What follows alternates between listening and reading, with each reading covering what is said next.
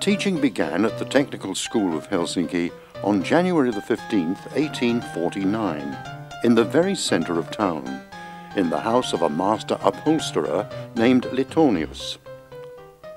The first director of the Technical School of Helsinki was the chemist Anders Olivier Sailan, a recent graduate of the University of Helsinki.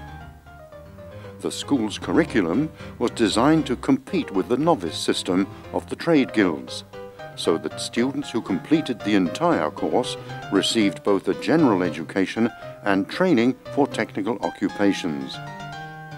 The technical trade departments of engineering, mechanical engineering, architecture, chemical technology, and surveying were founded at the same time. In 1872, the school was renamed the Polytechnic School, and in 1879, the Polytechnic Institute. In 1877, the Polytechnic School moved to its own premises, when the building designed by F. A. Sjöström was completed next to Hietalahti Market. Since then, the complex of buildings has been expanded on several occasions.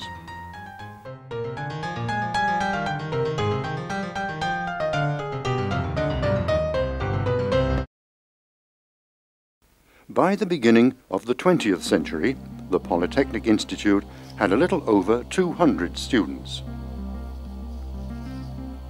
The first female student to be enrolled at the Polytechnic Institute was the sculptress Ida Meller, who was entered in the college books as a supernumerary student in autumn 1880. The first woman to complete an entire course was the architect Signe Hornborg in 1890, and women were given equal status with men in the student body in 1896. The number of women students remained small during the first two decades of the 20th century and did not begin to grow until the 1920s. The Polytechnic Institute was made a university-level establishment on April 2, 1908, and was renamed the Technological University of Finland. The change in name brought to its students the rights of university students its permanent teachers became professors, and the degree requirements of Doctor of Technology were defined. In the late 19th century, students who had passed every course with the highest marks received a special diploma, as was the custom in German-speaking countries. Those receiving a doctorate from the institution received a doctoral diploma, and the title Diploma Engineer was adopted in the early 1940s. The first doctorate was awarded at the University of Technology in 1912. By the time the first conferment of degrees was arranged in 1934, the university had awarded 11 doctorates.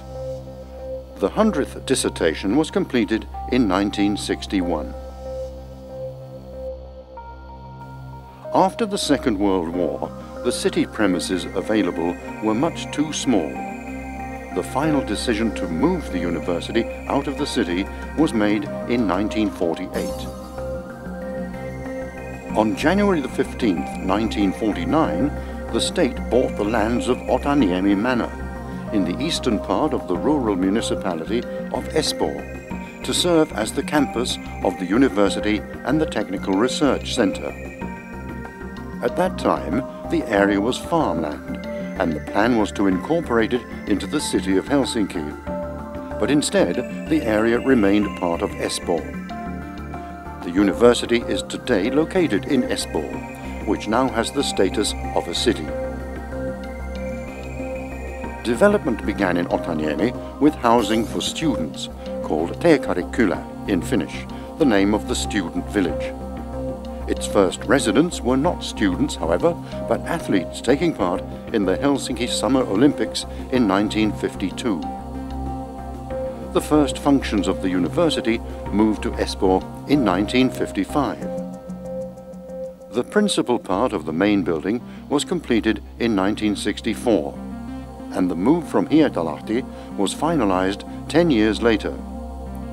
At the same time as the main building was completed, work on the Student Union building, called Dipoli, was also finished. In the 1970s, Dipoli became the best known venue in Finland for congresses and training courses. In the 1950s and 60s, Otaniemi became one of the most interesting sites for Finnish architecture. The master plan for the campus was drawn up by the architect Alvar Aalto. His office was in charge of the main building and the Ota Halli, an indoor sports arena built for the Olympics, and several other buildings. The oldest dormitories, the Servin Mökki restaurant and the Otaniemi chapel, were designed by the office of Heikki and Kaija Sirén. Dipoli was designed by Reima Pietilä and Raili Paatelainen. The student village, Teekkarikylä, and the University of Technology were built in woodland, in what was then the rural municipality of Espoo. Espoo gained town status in 1972 and has since then grown to become Finland's second most populous city. The campus of the university has expanded to include business incubators and a technology park. It has become one of Espoo's best known districts. Today Otaniemi employs some 16,000 people, whilst the student body numbers 15,000.